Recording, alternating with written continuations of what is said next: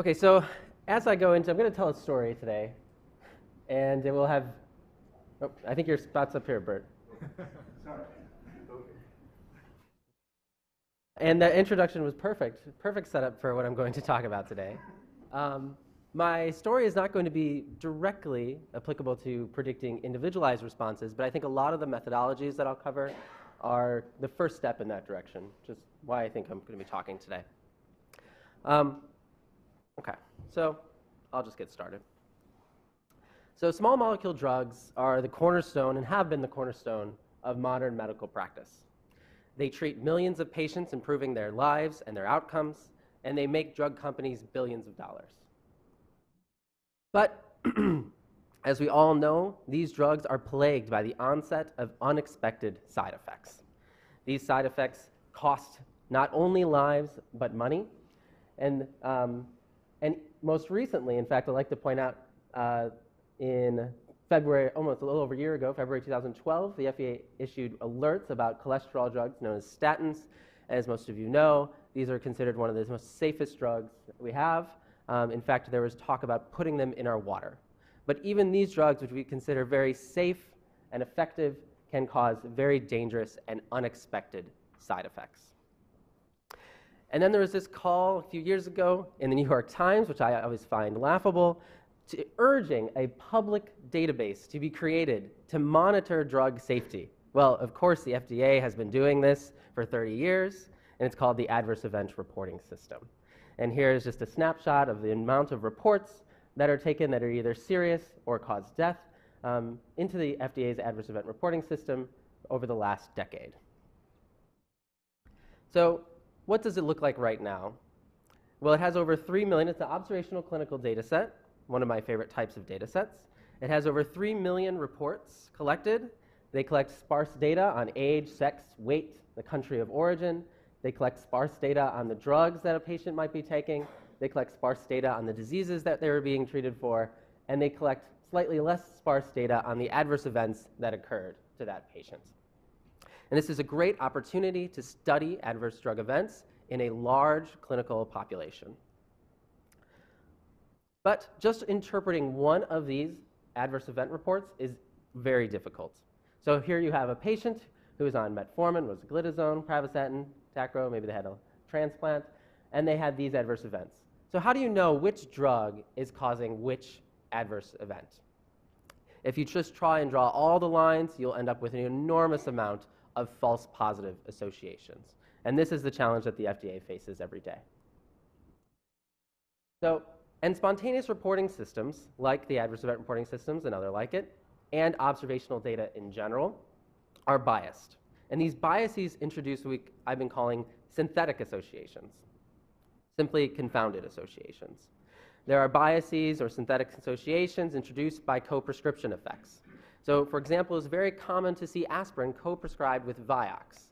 And so what you'd see if you did a naive analysis of the FDA's adverse event reporting system or essentially any clinical observational data set, you would find that aspirin has a very significant increase, uh, increases your risk of heart attack. And if you dig down a little bit deeper, you can see that a lot of these are actually because there's an enormous signal for Vioxx, especially in the adverse event reporting system, um, that causes that false association with these other co-prescribed drugs. In addition, you have synthetic associations introduced by indications. So lots of times what you see are that drugs that are given to diabetics, hypoglycemic drugs, are often associated very commonly with hyperglycemia as their adverse event. This, of course, is a nonsensical result, and it's really just that the patient's diabetes is not being controlled. And that is coming through. The physician records everything he sees, and hyperglycemia gets reported and linked to diabetes drugs as a potential adverse event. So propensity score matching is a technique used in observational data analysis to correct for exactly these types of effects. You can identify a matched set of controls for your studied exposed cases. And you do it by modeling the likelihood that a patient is going to be exposed to a drug. So take everything you know about all of your patients in your data set and try to predict whether or not they will receive the drug. And you can use a logistic regression model to do this. And then that gives you a probability for every patient on whether or not they will be exposed. And you can simply match patients who weren't exposed to those that were based on these probabilities. It's a very effective method and actually produces effect estimates that are very close to what you'd see in randomized clinical trials uh, in idealized settings, but still. But what does this require? You have to not only know all of your confounding covariates, but you also have to have them measured. And that's something that we typically do not have in these spontaneously collected large observational data sets, which I group the adverse event reporting system and also the electronic health records into. You don't necessarily capture all of the variables you would like to or that you might need. So what I did is I developed a new propensity score matching method, or I adapted it slightly. Um, and in this, we assume that we can represent the entire space of confounding covariates by two simple and easily collected variables, which are the drugs that a patient is prescribed and the indications that they're being treated for. So it turns out you can tell a lot about a patient if you just have their list of drugs that they're taking. Now, if they're on birth control, you know right away that they're female. If they're on a cholesterol lowering drug, you know they've been exposed to a high fat diet, so you're getting environmental exposures. Um, you know if they're on an antidepressant, then um, they're more likely to be female than male. And these have varying degrees of success, but our idea is that let's take these all in together, and then we can kind of paint a picture about this patient. We can use this information to stand in for the actual important covariates. I'm just going to go through a uh, picture which exemplifies this approach, and then I'll go through a specific example. So here in the center of this bullseye, we have in gold, we have the reports that for this query drug, the drug of interest that we're studying. Here is all other reports, and so this could be all other patients in your electronic health records, or it could be all other adverse drug event reports in the adverse event reporting system. So the first thing we do is we reduce, and we only consider those reports which have significantly co-prescribed prescriptions listed. And then further, we reduce to only those reports that have significantly correlated indications listed. So essentially, what are we doing? We're reducing the number of reports we can use as our controls. And this set of reports is less biased relative to our set of cases. and so what this does is it takes advantage of this enormous data set and the natural covariances that exist in that data. So now I'll go through a specific example. Before I mentioned that it is very common to see hyperglycemia associated with diabetes drugs, this nonsensical result. And if you look at it, you can see that 17.7% of reports for diabetes drugs list hyperglycemia as an adverse event. If you just take the entire data set as your control, what you'd see is approximately 1.5% of reports list hyperglycemia of all for all drugs. And so 17.7 divided by 1.5 is something much greater than 2, which is the standard significance cutoff. And so that's why you're seeing these false associations. But if you use this approach and you restrict your cohort to this subset, we then estimate that the expected frequency of reporting hyperglycemia for other drugs is actually for uh, drugs that are related to these drugs, but not these diabetes drugs, is 17.6%. That's what we would have estimated. 17.7, 17.6, that's essentially 1, and this is no longer significant. Um, and so now I'll show you that, yes, it's true not only for diabetes, drugs, and hyperglycemia, but that we can correct for biases across the entire data set. Here we have the reporting correlation between a drug and an indication. So in the case of diabetes and uh, diabetes drugs, that correlation is very high. It is very common to see as an indication diabetes when the patient is taking diabetes drug. And so that's why I put the purple uh, up there in the right-hand corner. And as you can see, as the drug becomes more tightly correlated with its indication, and the hypothesis there is that it, that is the indication for the drug, or it's commonly co-prescribed with drugs that are, have that indication, you can see that the probability that you're going to synthetically or falsely associate this drug with the indication's effects increases. And so this is simply a representation of that bias in the data set. And so here I'll show some more examples. Here are those drugs given to diabetics. Um, in the diamonds, we have their original association scores, which are above this arbitrary, well, not entirely arbitrary thresh, significance threshold cutoff. And then after you apply our method, you can see that all of that signal is dampened and those false positives are removed. This works for others. So here's antiarrhythmia and uh, antiarrhythmics and arrhythmia. You can see that many false positives exist before we apply the method, and then after we apply the method, many of these are removed. It's important to note that some of these that are not, that are still significant even after we apply this approach, um, are actually known to have proarrhythmic effects. And in fact, all three that are still above the significance threshold do have proarrhythmic effects that limit their use. Dofetilide is the best example. Okay, so here I showed you that here is a representation again. This line is a representation of the bias. And uh, here's what happens when we apply this method and correct for that bias. You can see there's no longer a significant relationship between how tightly correlated a drug is to its indication and the reporting of these or the significance of these false adverse events. Uh, it not only works for things that we included in the model, we included indications, so we'd expect it to work in that scenario, but it also works for implicitly correcting for other biases, such as age. So here, for example, we have the average association score between a drug and myocardial infarction versus that drug's average age. And so you can see that as patients, the patient cohorts who take a particular drug get younger, they're less likely to be associated with MI. And that's not because, that has nothing to do with the drugs. It's, uh, it's simply that patients who are younger are less likely to have frequent MIs. And when you compare that to the entire data set, for which the average age is around 60, you'll see that it's, uh, it's, even if the drug is inducing heart attacks, it's very hard to observe that. And so what you'd like to see is that it's a nice random distribution around 1, and after you apply our method, we remove that relationship, and that bias is corrected. Um, here is exactly the same plot, except we have the top 20 most biased drugs in terms of the ages for which they're, uh, the average age of the patient that's prescribed those drugs.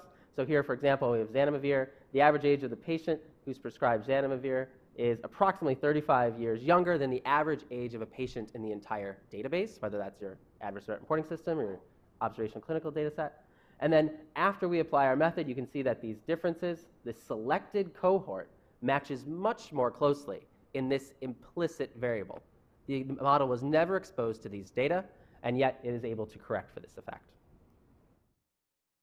Um, and here's a fun one I like to show. Here's the average association score between a drug and so-called manly adverse events. These are adverse events that only occur to males, um, things like uh, your testicle didn't drop, which would occur to very young males, um, or testicular cancer, um, lots of sexual things.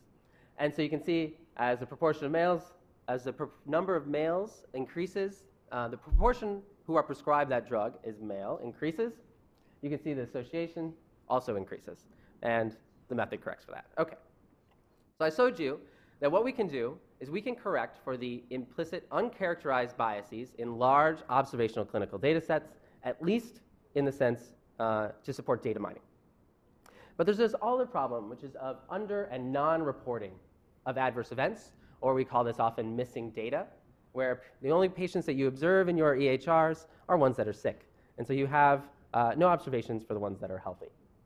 And oftentimes, we actually cannot track a patient. They come into our hospital for a day and then they leave, and we never see them again.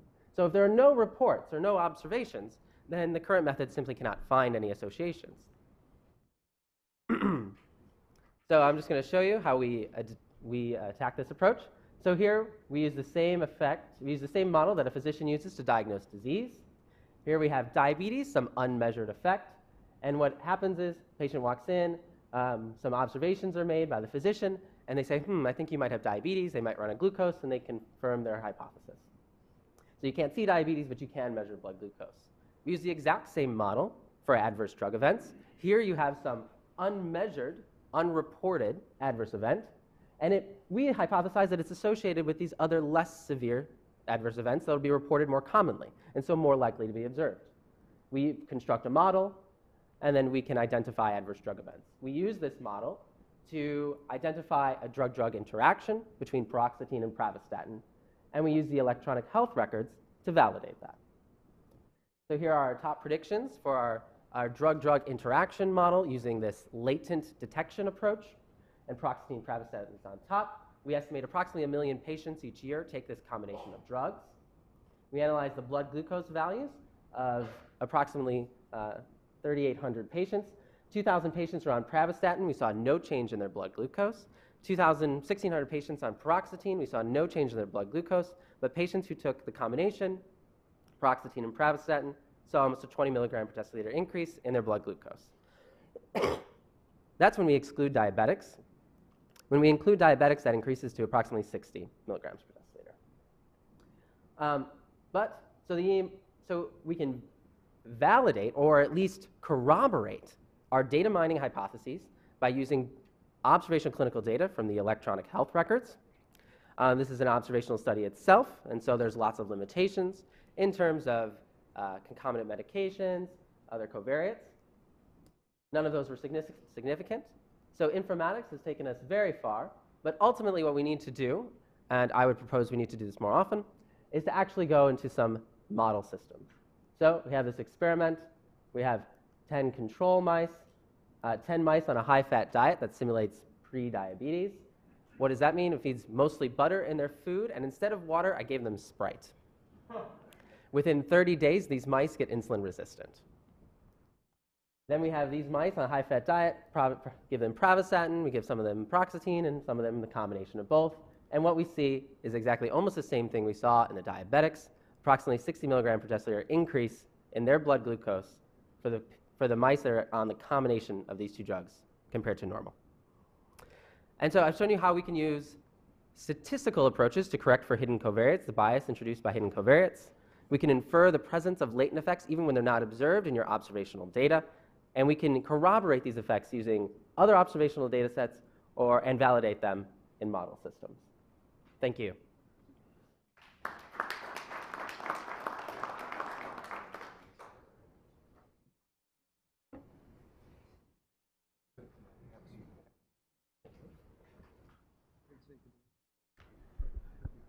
So we'll hold uh, questions for uh, after the opportunity to hear as well from uh, Michael Kattan, who's chairman of the Department of Quantitative Health Sciences at the Cleveland Clinic, where, uh, and also professor of medicine, epidemiology, and biostatistics at uh, the Cleveland Clinic Lerner College of Medicine.